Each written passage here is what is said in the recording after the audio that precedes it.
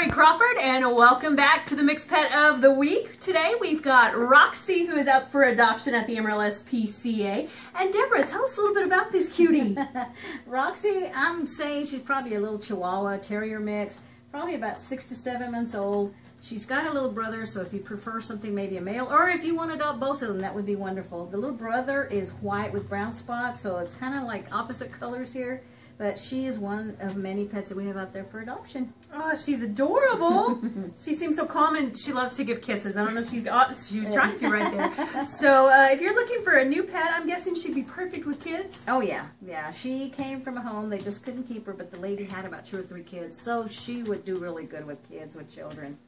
Now, Deborah, uh, if somebody's interested in Roxy or maybe even taking her brother as well, what's the best way to start the adoption process? Um, just come out to the shelter. We are at 11901 South Coulter. Phone number is 806-622-0555.